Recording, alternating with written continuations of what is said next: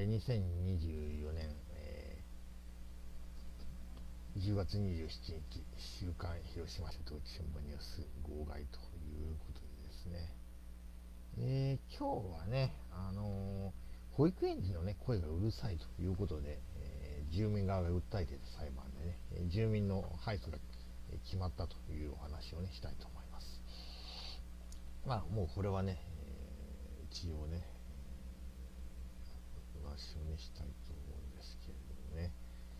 まあ、あの、東京都練馬区ですね、えー、のに住んでおられる方、隣にできたね、保育園の園児の声がうるさくて平穏に生活できないということでですね、えー、民間の保育会社ね、これを訴えて損害賠償を求めた裁判。えー、結局、ね、上告をね、棄却する決定をしました。結局、住民側が3連敗ということでね、決定をしたわけです。まあ、その、なんていうかな、これはね、そもそもね、裁判に訴えるような話だったんかいなというのはあります。うん、訴える権利はありますけれどもね、ありますけれども、それが認められるかは別問題です。まあまあ、ただね、今回のことでね、一つの判例になったということはね、うん、まあ賛否ともかくね、えー、あの一つのね、えー、歴史的な、メルクマールというかな、歴史的な、エポックというかな、エポックメイキングなことになると。まあ、ね、ただこれ話し合いになんとかならんかったのかって思うんですよ。あるいはですね、これを機にね、やっぱり行政が間に入ってね、調整をする話じゃないのかなと思うんですね。うん。まあ、保育園側がね、あるいはね、あるいは、ね、住宅はどちらかで、まあ安、安くて済む方にやっぱり防音設備、ね、整備を行うね、行政補助するとかにしてもいいと思うんですよ。とね。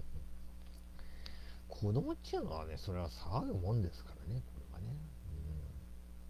それ騒ぐもんでしょ。子供がね、えー、静かだったらね、あれですよ。まあ、その、子供を見てね、笑うな。ね、えー、我が来た道。ね、年寄りを見て笑うな。いつか行く道。えー、やっぱりその、相互理解とかね、それからね、相互の調整というかな、世代間、そういうものが非常にやっぱりね、今、あの、機能不全になってるということはやっぱり感じますね。だからうるさいね。もちろんね、うん、まあ今頃はね、夜勤の人も多いしね、じゃあね、えー、昼間寝たいって人もいるでしょ。でもそれだったらね、あのー、本当ね、あのー、保育園をね、訴える、うん、というところまで行く前にね、行政に相談していただいてやっ、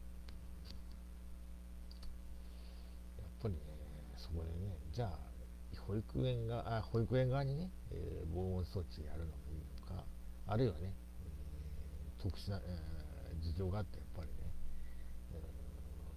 えー、いう方に防音装置をね、補助するのがいいのかね、まあ、どっちがね、予算的にいいのかっていうのも含めてね、まあ、検討して調整をするみたいなね、やってたらいいと思うんですよ。なんかね、うん、いや、公園で遊ぶのはね、えー、子供がうるさいとかね、まあいろいろありすぎですけど、なんかのびのびとね、子供がね、遊べないっていう問題ね、えー、のびのびとね、子供が声出せないっていうんだったら、やっぱりね、ますますね、いわゆる少子化っていうのも進んでいくと思いますよね。まあ昔に比べたらね、経済的ないろんな手当等もね、だいぶね、えー、子供に対して充実はしてきてますけどね。やっぱり残りはやの部分として、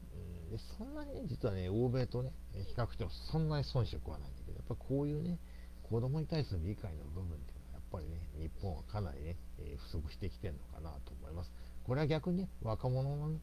がね、高齢者に対する、ね、理解が不足してるのと、やっぱり対になってるっていうのかな。うん、もうちょっとね、そういうところかな。まあ、こういうね、こともやっぱりしっかりね、選ばれるね、国会議員の皆さん、衆議院議員もね、しっかりね、整備をね、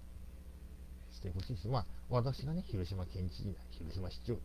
させていただく前にはね、こういうね、まあ、まあ、住宅密集地はね、えー、まあ、広島の場合はね、まあ、都市部ね、えー、中心ですけど、そういったところのね、調整みたいなことはね、調整機関というか、そういうものはね、やっぱり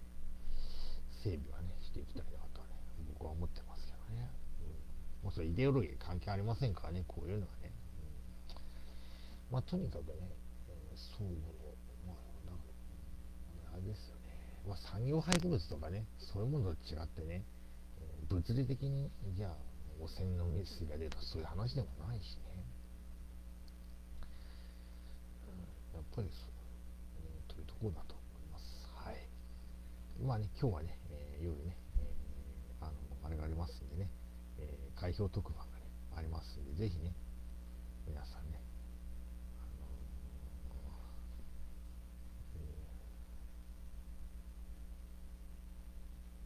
今日はね、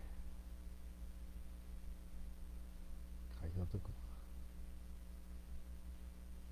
開票特番ね、ありますんでね、えー、ぜひね、